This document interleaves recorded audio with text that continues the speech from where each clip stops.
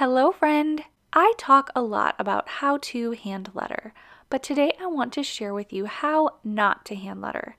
I'm going to be sharing five lettering mistakes, some of those things that you might not even realize that you're doing, but don't worry, these mistakes are easily fixable and I'm going to share that with you as well. So let's get right into the video. The first hand lettering mistake that you might be making is that you might be trying to hold all of your hand lettering tools the same way. And I'm actually not talking about the angle as much as I'm talking about the way you actually hold the pen in your hand.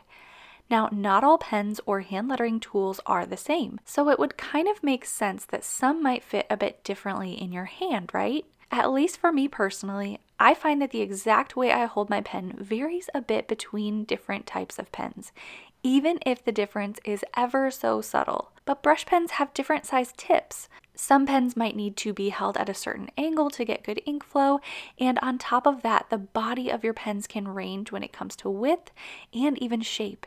And I think all of these things can affect the way that you grip your pen. When it comes to brush lettering, I still do recommend that you hold your pen at around a 45 degree angle, but we don't really talk a lot about the grip on your actual pen.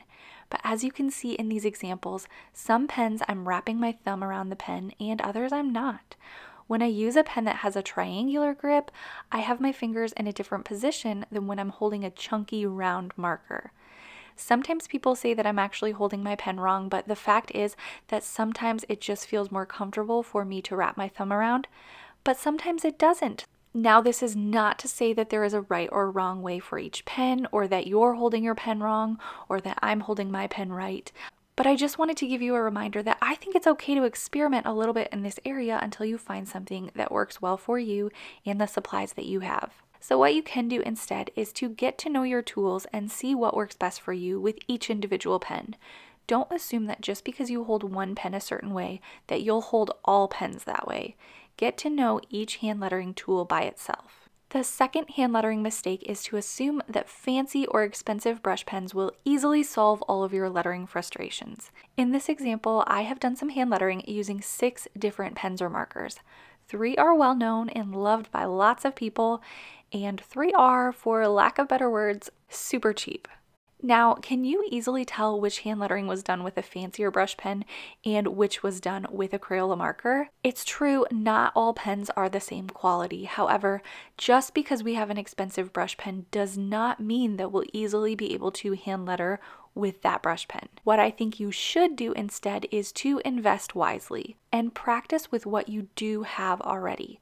Even if that's something cheap, and know that no matter what kind of pen you purchase, you will likely have a bit of a learning curve, even if you've been hand lettering for a while. So, yes, I think it's okay to purchase new markers and pens. And yes, I have a lot of brush pens that I have tested out over the years, but I just don't want you to purchase thinking that buying new pens will make hand lettering easier.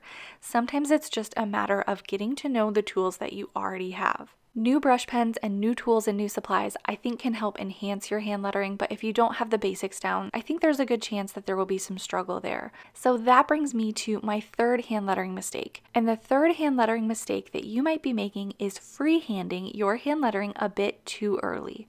And I don't just mean tracing letters, I mean lettering on a completely blank piece of paper and still expecting to see neat and even hand lettering that is written out in a straight line. That is hard to do for lots of us. I have been lettering for years and I still sometimes write at a slant when I'm freehand hand lettering. Not only that, but it's hard to create that neat and even hand lettering when you are doing it completely freehand. And this one is a super simple fix. What you can do instead is practice your hand lettering using a blank lined piece of paper.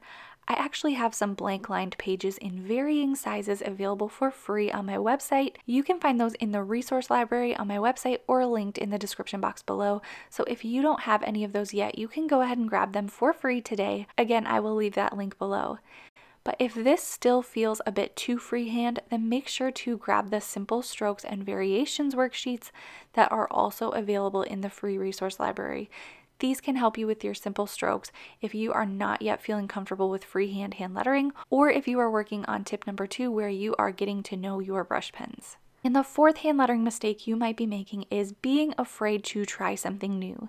There are so many ways that we can be creative even within hand lettering. Changing up our technique is one way to create a unique style of hand lettering, but it's not the only way.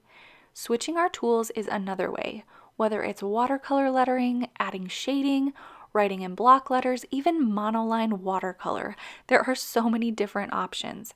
If you're feeling stuck or maybe you're searching for your own unique style, maybe try something new. Don't be afraid of making mistakes. Don't be afraid of messing up your page. Just start. And the fifth hand lettering mistake that you might be making is to not learn your ovals.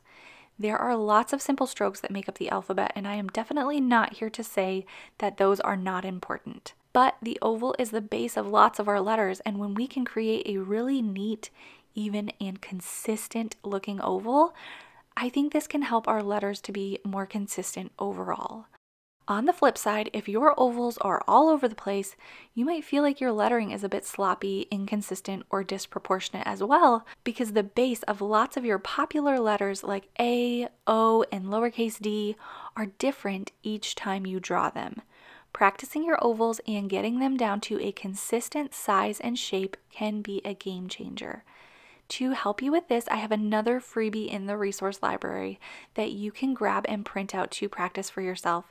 And on top of that, if you are wanting to learn more about how to hand letter, you can join my free hand lettering course at howtohandletter.com. I hope that this video was helpful for you in learning to overcome some of those difficult parts of hand lettering. For more hand lettering tutorials, make sure to check out my beginner hand lettering playlist here, and you can also follow along over on Instagram at how to hand letter. Thank you so much for watching and I will see you over in my next video.